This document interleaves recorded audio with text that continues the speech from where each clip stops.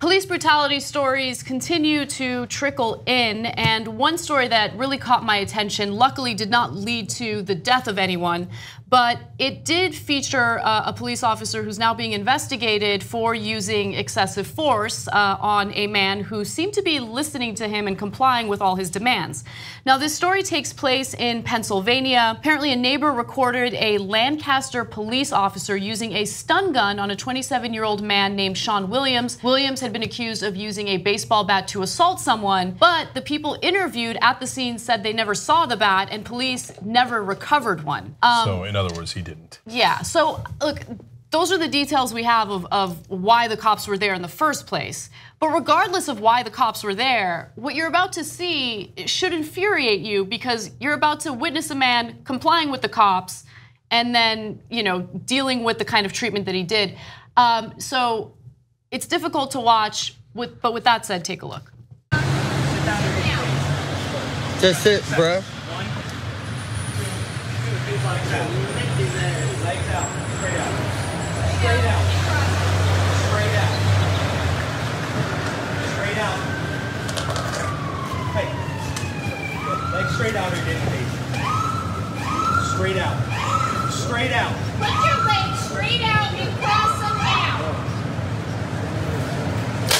Oh, come on, bro. Oh, he's not listening. You're really gonna tase him? He was sitting down though, bro. On your stomach. On your stomach. On your stomach on your stomach, arms out like an airplane. Okay, Jesus. so um, I don't know if everyone can hear it clearly, but there's a female officer who's not on camera, and I keep hearing straight out and crossed. She, she's right. She she said she the guy said for? straight out, which he clearly meant now in hindsight. What he could have said, "Don't bend your knees." He meant put them out, and then she wanted them out and crossed, crossed. but he had them out sort of just on the ground obviously I would say unthreatening, uh, and then he crossed them in, in, in, in answer to her command. And, and that was when the other, when the male cop used the taser. But look, I, am going to be honest. If I were in his situation, I wouldn't know exactly what the cops want. And honestly, I would also be terrified because you know one wrong move and you could lose your life. From other videos that we've seen, so he didn't look. I, I think the most important thing is he wasn't in any type of position that posed a threat to anyone. Um, his back was turned to that male cop. He was sitting on the curb. You can clearly see his arms. I, I feel like there was really no need to tase him at that point. But no, the, the police department is standing by. What of course, there was no need. And of course, there was no need to tase him. Obviously, there's no need. To, I get it. They wanted his legs spread out. If your legs, I'm gonna, I'm guessing now, but I'm presume that if your legs are bent and your uh, and the, the the bottoms of your feet are on the ground, you can spring up very quickly. If your legs are extended mm. out getting up is going to take a longer time. You were so that's why he was asking. But then you have to say, "Hey, don't bend your knees, legs straight out, yell it, whatever." But he wanted to tase it. He the second time that he said legs straight out, and the guy just clearly didn't seem to get it. He didn't. He said, "All right, you're gonna get tased." You see him reach in, and take out the taser, like he was like ready. So that meant the next time you don't obey me, which came about with the confusing order from the female officer, he went ahead and tased him. It's ridiculous. Those guys aren't fit to be cops. They should be fired. They don't go to jail, but they got no business having guns. That was confusing. I had no idea that they meant stick out your legs and cross them. I mean, none of us are now. experts at being right. listening to the cops when we're under arrest for having a bat that we didn't have. It and what they said in here is that they were using the, the taser as a preventative measure. Yeah, that's so too much. Let me give you the uh, statement from the Lancaster PD from Pennsylvania. Uh, the statement that they gave to the press was This is done as a measure of control to ensure that if someone is going to flee or offer physical resistance, they will have to move their legs under yeah, them to right. do so. Non compliance is often a precursor to someone that is preparing to flee or fight with officers. Okay, that's uh, so I'm correct. I hadn't even read that yet. But so if your legs are out like this, you got to go like this first to get up. If your legs are like this, you can just spring straight up, and that's what they're trying to avoid. So make that effing clear before you use your taser. Yeah. Okay. So I, I have a harsh review of this, uh, and you guys have been harsh, but not enough, in my opinion. So the cops, uh, now we've seen this in a lot of tapes, play Simon Says with these guys, and they're toying with people's lives. Uh, and how the hell is he supposed to know? I assume cross your legs meant when she said it, cross your legs like this, like when you in that like in bent position that he was in, right? Uh, so they can't wait to use the taser. it would appear that I don't know right. that they. We have this evidence. This we guy, have, I, this guy seemed eager to use the taser. Uh, and and look, you could say, look, there's hundreds of thousands of cops across the country, and so the dozens and dozens and dozens, maybe hundreds of videos we've seen where the cops can't wait to use their weapons is an anomaly, but and most of them don't. But then all the other cops defend them. So, uh, but I, like Ana said, I was terrified they were going to murder him because it reminded me of the story from Mesa, Arizona, of the guy crawling in the hallway of the hotel room mm -hmm. and they keep giving him confusing instructions and he's in a panic and he's trying to comply and it's super obvious he's trying to comply. In that case, it was a white guy. And then he just murdered him. Uh, he, you know, for following. And he was sobbing. He yeah, the guy's sobbing, sobbing, clearly not a threat, no, nowhere near a threat. And the guy shot him and killed him, right? And of course, got away with it. Oh, they're just bad apples. If they're bad apples, why aren't they in prison, right? No, because you protect them, because you and you encourage them to use too much violence. And that's the problem with the yeah. training that I keep talking about. In this case, anybody watching that video, if you're an honest person, if you're a douche right winger, you're like, I got him. I get it, I get it. You're irredeemable, right? But if you're an honest person, did he seem like a threat to you? Really? Like, did it appear that he was trying to not listen to the cops or listen to the cops? Anybody looking at that tape looks like he's like, okay, I'm, I'm trying to extend my legs. And then she says, cross them. He goes to try to cross them, and he tasers her, he tases him anyway. Also, if that's not a threat, it's not a threat. And by the way, this preventative measure, that's that's another quote, the one that Kim referenced, that the cops used. That means, hey, I'm going. I'm going to assault you before you do anything. I'm going to prevent you doing something that you didn't yet do and I'm going to tase you before you do it. I think implicit in it also, you're right, is also I didn't shoot you. It's prevented. I prevented myself from shooting you. Yeah, well, congratulations. You. I didn't murder you. Uh, you know, look, nobody would be seeing this video if that cop had acted like an ass and told him to, or even kicked his leg forward. Right? We wouldn't be doing this story. Like, mm -hmm. kicked out the heel of the leg, spread it out, use the phrase knees straight.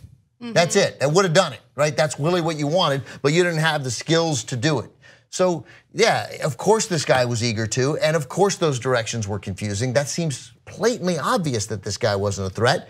And it's, by the way, uh, then the other thing that is, I think, always relevant here is okay, I suppose the attitude that the cop is going to portray, that the cop is going to say, and what the department seems to be backing up is that he wasn't totally in it. He was being like, fine, you're gonna make me sit down now, now you're gonna make me sit here and spread my legs. I don't quite know what you mean. Mm -hmm. He was not yes sirring it to the utmost extent, right? He was not a 150% complier. He was at 84% and he was pissed, right?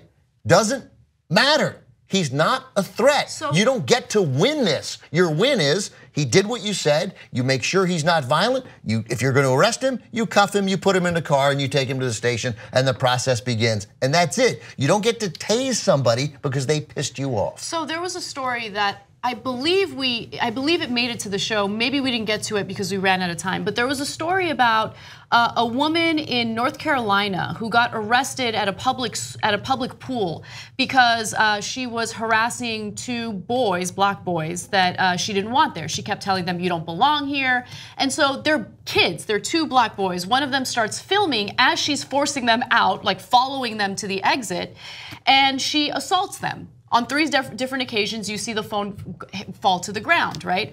And I guess at one point, she strikes one of the kids in the face, and cops are called. When the cops showed up, she started physically assaulting the cops, apparently bit one of the cops in the ear, and the cops, you know, arrest her. She, she gets uh, her mugshot taken and everything. I want everyone to be treated that way. The, that way, right. right? I get it. She was incredibly combative. She was incredibly difficult to deal with. But I would not want anyone to pull a gun on her. I would not want anyone to use excessive force on her. Arrest her, book her, let the justice system deal with her. Jarrod Ramos didn't get tased. He was under the desk with a gun. Yeah, that's the guy who did the shooting at, at, at in Baltimore just now. Look, uh, now let me be less harsh. It's not the particular cop, and, and a lot of people disagree with me when I say that but they trained them to uh, be overwhelming force, don't yeah, take any right. risks. Um, well, if you're in a shootout like in the movie Heat with a bunch of bank robbers with automatic weapons, then you use overwhelming force. But if a guy is sitting down and trying to comply with the orders, don't use overwhelming force. But what do they train him to do? Unless it's a rich white woman, make sure that you beat the crap out of him or tase him or shoot him. Don't take any chances because your life is more important than their life. And also, and, and they're protected. You know, I mean, this needs to be a, again, as always, a change in the law because we. The, the issue isn't so much that DAs won't prosecute because we see what happens frequently when DAs prosecute, they get acquitted. Because mm-hmm. the laws are written in such a way where if you go, my life was threatened and the law says if the cop feels like his life was threatened, well, then, then lethal force is okay. So if that law is changed to where that is no longer the only defense, well, then we'd have a different set of circumstances. And I am, you know, probably, I don't know whether I'm different than anybody else on this panel. I, I, I, am enormously sympathetic to police officers in general. It is an unbelievably stressful and difficult job. And it's why they ought to get paid more and they ought to get trained better. Yeah. And, and as a result, when good cops, of which there are many, see this, to Cenk's point earlier, they ought to say, that guy's a bad police officer, and that guy makes my job harder. Instead, what do they do? And so this injustice to this guy has already happened, okay? Uh, but the injustice continues. They arrested him. What? Oh, because they went to go investigate the guy swinging the bat and hitting people. That's a really serious crime. So I'm glad. Oh no, they didn't arrest him on that because there was no bat. They arrested him for public drunkenness. You know what that is? Cover my ass. I, I tased him. He was the wrong guy and he wasn't doing anything wrong.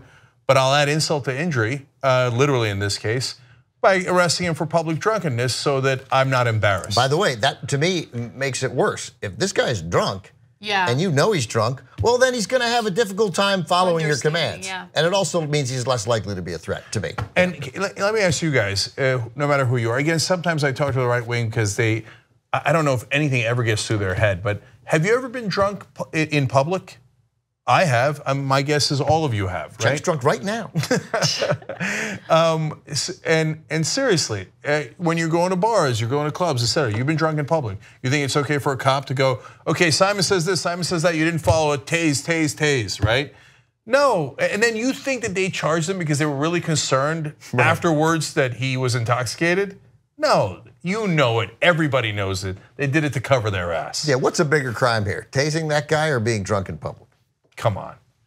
I mean, a lot of people, unfortunately, in the country would say being drunk in public. Well, yeah, here's while the knowing right. full well that they themselves have been drunk in public numerous times, and, yeah. and that's the that's the unfortunate thing. It's it's the lack of empathy, the the lack of understanding, and and I just wish people would put themselves in that person's shoes and understand what it's like to go through something like that and and not know clearly what the cops want you to do and then be met with that kind of you know physical force pay them more train them better it's a frustrating story i feel like i could i could use a shot of a of a little dog trying to give CPR to a Me person. Me too. Do we have a video of a dog? that would help. I just and that's a random thing to ask for, but in this, uh, there in this you guys go again with the dogs. This type of situation.